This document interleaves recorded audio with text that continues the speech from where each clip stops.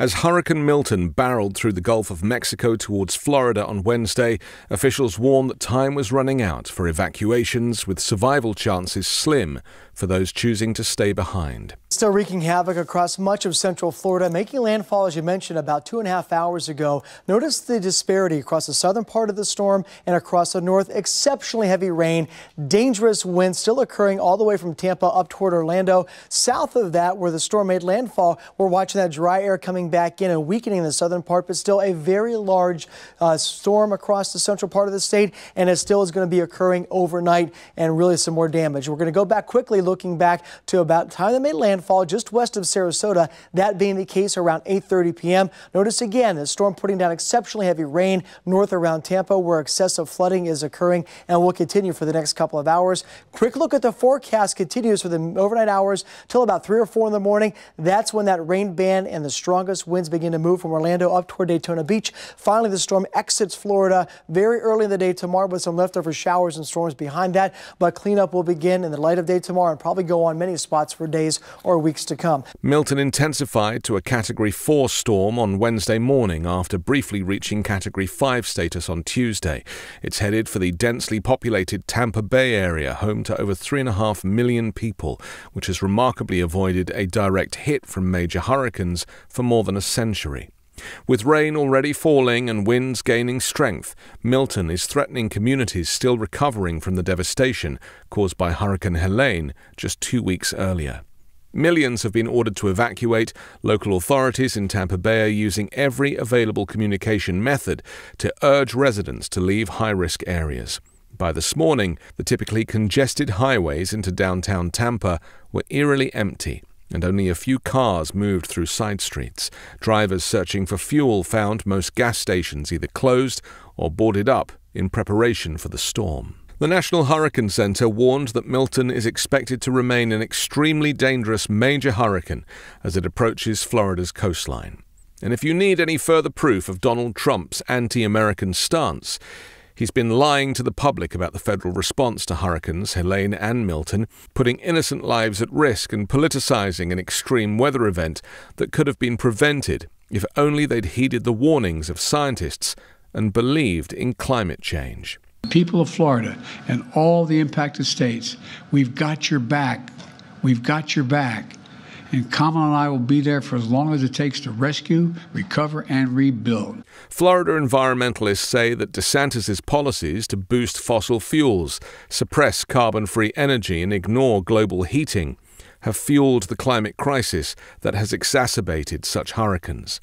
Hurricanes are becoming more dangerous due to the climate crisis caused primarily from the burning of fossil fuel. DeSantis' opposition to climate action began early in his career. One day after taking office in 2013, the then congressman voted against a measure proposed after Hurricane Sandy to guarantee people could collect on federal flood insurance claims. During his 2018 run for governor, he pledged to protect Florida's Everglades and waterways. But though he admitted human activity contributes to changes in the environment, he also said, I'm not a global warming person. More recently, he's gone further, slamming climate action as woke and Democrat stuff. What I've found is people, when they start talking about things like global warming, they typically use that as a pretext to do a bunch of left wing things that they would want to do anyways. And so we're not doing any left wing stuff. There is ample evidence that warmer ocean temperatures fuel powerful storms, and preliminary studies show that these hurricanes' strength was made far more likely by global heating. Yet as Florida was battered by record breaking rain this past June, DeSantis staunchly denied any potential link to the climate crisis. Vice President Kamala Harris had harsh words for Governor Ron DeSantis after the Republican dodged her calls ahead of Hurricane Milton's landfall in Florida. DeSantis decided not to respond to offers for emergency assistance from the vice president because her calls seemed political, according to one of his aides. People are in desperate need of support right now, Kamala Harris said, and playing political games at this moment in these crisis situations, these are the height of emergency situations, is utterly irresponsible. And it's selfish. And it's about political gamesmanship instead of doing the job that you took an oath to do, which is to put the people first. DeSantis also quietly helped craft a ban on wind energy infrastructure in Florida. He also signed a far reaching energy omnibus bill, boosting the gas industry and increasing the barriers to purchasing electric vehicles. In a state that sees more extreme weather than most. While in office, Donald Trump was hesitant to send aid to areas where people voted against him, such as wildfire stricken California, according to two former White House staffers. You know, my biggest concern now is that whilst disinformation and therefore confirmation bias has screwed up our divided nation, when it comes to natural disasters, we're now seeing a partisan response from Republican leadership and consequently a MAGA brainwashing response from some citizens who refuse to heed the evacuation and safety warnings of the mainstream media, as Trump has been telling them now for almost a decade that it's fake news and that the media is the enemy of the people. So when a hurricane hits or even another pandemic comes, MAGA Republicans will be stranded, injured, or even die at a greater rate than Democrats who trust the national news services. We saw this during the COVID 19 pandemic, with evidence that personal political leanings contributed to excess deaths. The research builds on previous work that has shown that right wing red counties had higher death rates during the pandemic than more left wing blue counties. The study looked at deaths in both Florida and Ohio during the first 22 months of the pandemic and found the overall excess death rate of Republican voters was 15% higher than that of Democrats. The gap widened further to 43% once the COVID 19 vaccines were introduced. So, when Republicans think it's funny to lie about the federal disaster response just to own the libs, they purposefully ignore that there are lives at stake.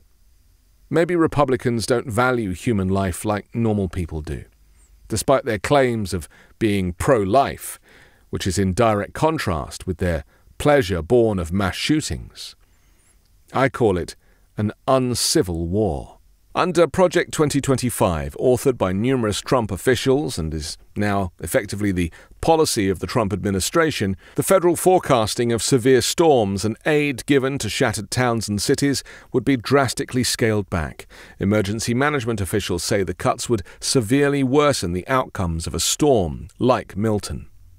Project 2025 calls for breaking up and downsizing the National Oceanic and Atmospheric Administration, which it calls a primary component of the climate change alarm industry. The agency's climate research is harmful to future U.S. prosperity and should be disbanded, the document says. If enacted, the playbook would also radically reimagine the Federal Emergency Management Agency, or FEMA, ending its federal flood insurance program, the country's top federal flood insurance provider, and shrinking its disaster aid. With the Federal Emergency Management Agency reeling from major staffing and funding shortages amid the impact of the recent hurricanes, House Speaker Mike Johnson refused on Sunday to commit to reconvening the House before Election Day to aid recovery efforts. In response to a letter from President Joe Biden urging congressional leaders to come back to replenish federal disaster loan funding, Mike Johnson said he'd only do so after the election. Johnson pointed to the $20 billion Congress allocated for FEMA as part of a stopgap measure, then returned to his previously scheduled attacks on undocumented immigrants who Johnson inexplicably blamed for the shortfall. In reality, migrant relief efforts represent less than 3% of FEMA's total annual budget, and the shortfall would still be there if these efforts stopped. And now we have Hurricane Milton, a far more devastating hurricane, but funds for its relief are clearly being held to ransom by Donald Trump.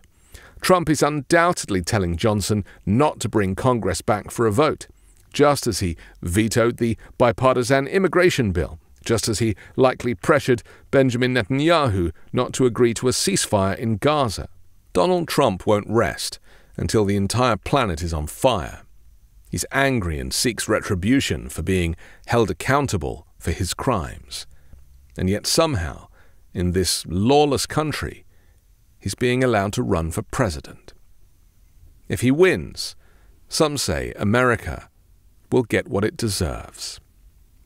I'm Anthony Davis. You can find me on the 5 Minute News YouTube channel and podcast. on Wednesday co hosting Uncovered, and on Sunday on The Weekend Show with Midas Touch.